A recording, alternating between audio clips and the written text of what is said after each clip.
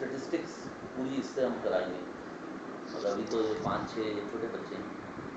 जब तरह से सीनियर सेक्शन वाले होंगे तो फिर उनको सौ पचास क्वेश्चन भराएँगे उनको टेबुलेट सर्वे करना सर्वे करेंगे सर्वे की टेक्निक तो हम सारी मैथ्स स्टेटिस्टिक्स तो उसको सर्वे के ज़रिए सिखाएँ लेकिन अभी हमने उनको इस तरह से इसकी तरफ़ लगाया। तो होमवर्क्स होते हैं मतलब ये ना समझा जाए कि होमवर्क नहीं होता लेकिन इस होमवर्क का ताल्लुक ये नहीं होता कि भाई तुमने होमवर्क नहीं लाया खड़े हो जाओ और तुम्हारे ऊपर वो हो जाए। हम हमने कभी तक नहीं देखा कि हमारे तो बच्चों को शौक से करते हैं। शौक से करते हैं। तो दो बच्चे और ऐसे हैं कुकिंग वो करते हैं एक्सपेरिमेंट सारे वो करते हैं। मतलब मैंने देखा है बच्चों के अंदर इन चीज़ों की ज़्यादा आपको कहना नहीं पड़ता। तो खुद ही मट्टी लाया खुद ही उन्होंने वॉल कैन बना लिया खुद ही सब कुछ कर लिया। आपके एक एक जो है ये आपने मुझे बताया था कि एज लिमिट क्या है कौन से कौन मतलब जो जूनियर है आपका उसको आप कितने साल जूनियर रखेंगे? देखिए हमारे पास है फोर फाइव सिक्स ये जो है इसको हम कहते हैं बिगिनर साल का?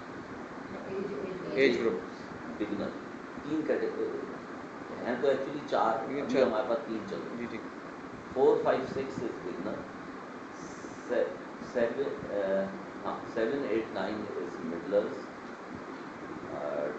ten eleven twelve is junior thirteen fourteen fifteen is senior इसका मतलब हुआ कि इंशाल्लाह अगर हमारा बेटा यहाँ आता है तो we should be in mid in mid junior क्या एज है उनकी? सर हाँ तो फिर तो अच्छा इसके अंदर ये ज़रा सा मैं आपको बता दूँ कि हमारी जो एक्टिविटीज़ डिज़ाइन होती हैं वो उनके उस पॉइंट ऑफ़ व्यू से होती हैं। लेकिन बच्चों को नहीं पता होता, ठीक है? तो हमने मिडलर्स को उनकी एक्टिविटी में भेजा, लेकिन अगर कोई जूनियर जो है, वो नीचे वाली लेवल की एक्टिविटी करने में शौक महसूस कर रहा है तो हम उसको मना नहीं करेंगे। वो घर से यहाँ आ जाए। और इसी तरह से अगर ये जो है मिडलर वो जूनियर वाले एक्टिविटी करना चाहते हैं तो ज़रूर करो भाई। भाई, अगर तुम कर सकते हो, मज़ा आ रहा है। एक्टिविटी ऐसी चीज़ है कि वो उसमें अगर उसमें कहीं वो वॉल्केनो बनाया है रप्शन हो रही है तो वो तो बहुत ही उनको मज़ा आएगा ना उस किस्म की चीज़ को। छोटा बच्चा भी करना चाहेगा तो हम मना नहीं करते। मतलब स्ट्रिक्ट मार्किंग में, लेकिन डिज़ाइन हमारी एक्टिविटीज़ का ऐसा होता है, वो कर ले, उसके बाद वो दूसरा भी कर लेगा और वो जल्दी से अपना काम ख़त्म करके वो दूसरी चीज़ में करने में हमें ज़ोर भी नहीं लगाना पड़ता। तुम ये जल्दी कर लो, फिर जाकर वो भी कर लो। और वो शौक में वो काम कर रहे हमारे यहाँ जो मैथ्स की एक्टिविटी होती है तो लिटरली बच्चे वर्ड तो ये नेगेटिव होंगे दे बेगिंग कि हमें मैथ्स में जाना है। क्योंकि जो हमने कॉन्सेप्ट उनको टेंस के या यूनिट नंबर्स के या सीक्वेंसिंग के लिए थे, वो फेक मनी से दिए थे पॉइंट्स एंड टेक रुपीज़ जो होते हैं कागज़ के तो उसकी एक्टिविटी से भी have to flip a coin how many times you do it you write it in number sequence और they are learning number sequencing अच्छा ये एक्टिविटी डिज़ाइन की बिगनर्स के लिए कि उनको वन टू थ्री टेन तक हम अच्छे से बताएँ फिर उसके बाद ट्वेंटी तक अच्छे से बताएँ। प्रैक्टिकली करके देखें ना ये फ्लिप किया ये दूसरा किया ये तो ये बड़े भी करना चाह रहे थे ठीक है करो तुम हंड्रेड तक करो। तुम हंड्रेड तक करो। They did it they literally second नहीं हमें तो ये एक हफ़्ता और करना है ये अंगूठे में दर्द ना हो जाए। असल में मकसद क्या है कि बच्चों के अंदर हमें शौक पैदा करना है। जब उसके अंदर एक दफ़ा शौक पैदा हो जाए तो वो खुद बहुत तेज़ी से सीखता है। वो चीज़ हमें सीखने में मुश्किल होती है जो हमें ज़बरदस्ती कराई जा रही है और जिसको हम, जिसका हम सेंस ना बना सकें।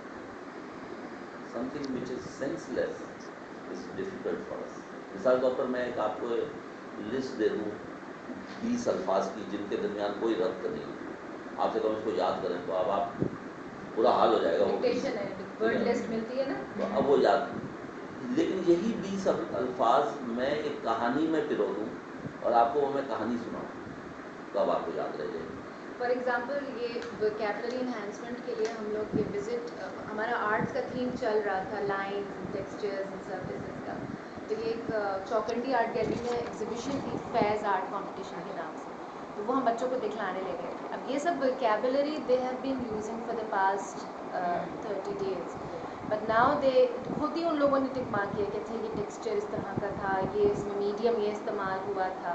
कहीं छोटे बच्चों को ज़रूरत पड़ी कि they didn't understand but all of them did it themselves and they were suppose to draw also कि जो आपको फेवरेट लग रहा है उसमें से ये ड्रॉ कीजिए। अब ऐसे तो it was just a visit fun thing हाँ बस करके आ गए। मगर they really drew their impressions जो उन्होंने देखा।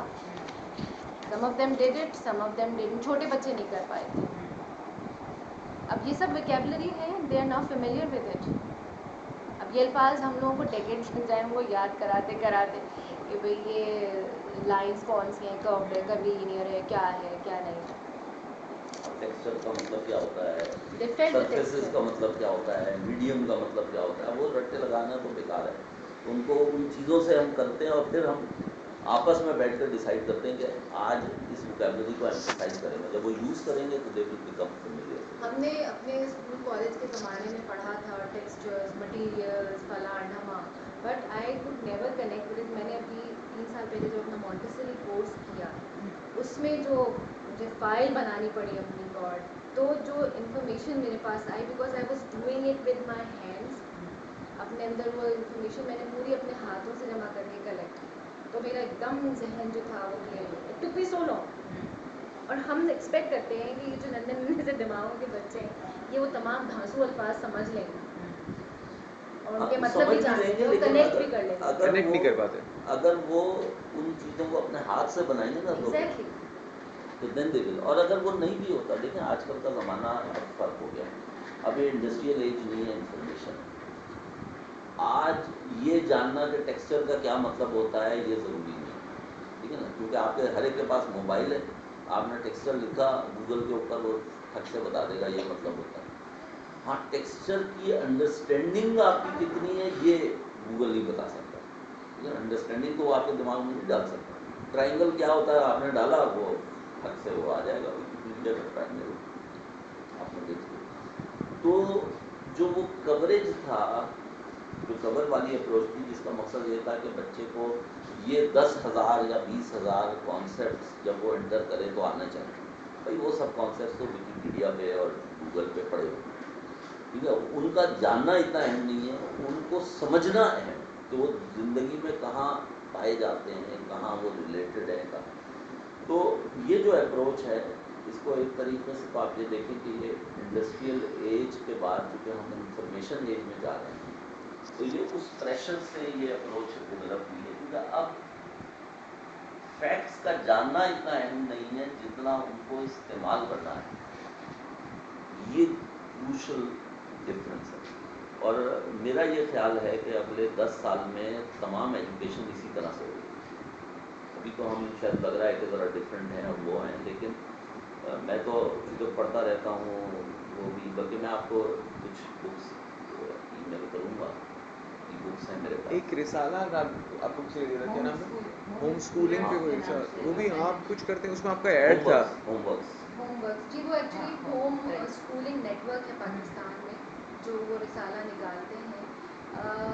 लेकिन आपने ऐड दिया था प्रॉब्लम है उसके आप सिर्फ़ लाइब्रेरी का ऐड दिया था। देखिए असल में वो होम स्कूलिंग वाले भी फलसफा यही इस्तेमाल कर रहे हैं। मसला क्या है कि हर पेरेंट या हर एक के घर में वो फैसिलिटी नहीं है तो अगर किसी के घर में वो सब चीज़ें मौजूद हैं और वो टाइम स्पेयर कर सकता है तो वो कर ले। लेकिन बच्चों की एक रिक्वायरमेंट होती है ना कि वो दूसरे बच्चों से भी तो मिलें इंटरेक्ट करें। घर में बंद बंद बंद। आप, पहले तो ज़माने में ये होता था कि घर बड़े बड़े होते थे, खुली स्पेसेस होती थी। बच्चा घर में है, फिर वो बाहर खेल रहा है। अपना माँ बाप को फ़िक्र है कि गली में खेल रहा है खेल रहा है। अब बच्चे भी नहीं आजकल है तो- आजकल तो आप घर से बाहर नहीं निकलने देते उसको गाड़ी में अकेले नहीं बैठने देते तो वो so we need an environment तो वैसे ये फलसफा वही है। होम स्कूलिंग वाले भी इसी फलसफे पे। और हो सकता है फ्यूचर में बच्चे घरों में बैठ के ही इंटरेक्शन कर रहे हों और वर्चुअल यूनिवर्सिटीज़ हों ये बिल्कुल बहुत है फिर बहरहाल, हमारी जो इंटरपर्सनल सोशल नीड्स हैं, वो तो बहरहाल एक दूसरे के सामने बात करके, बैठ के, समझ के ही पूरी हो सकती तो उसके लिए आप ये समझ सकते हैं कि ये जो पूरा प्रोसेस है, इसे आप समझ लें स्ट्रक्चर्ड होम स्कूलिंग लेकिन इदारों की ज़रूरत हमेशा से थी और हमेशा रहेगी कि वो सारी फैसिलिटीज़ अंडर हर घर में वो उतनी लैब नहीं हो सकती आपने देखी थी? या आप ही आए थे कल? कल मैं आया था क्या? हाँ, आपको मैं दिखा देती हूँ।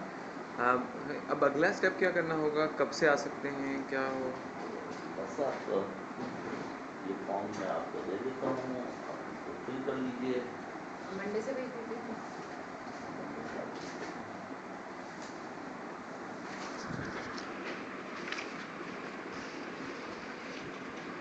अब इसकी तो ज़रूरत नहीं है मैं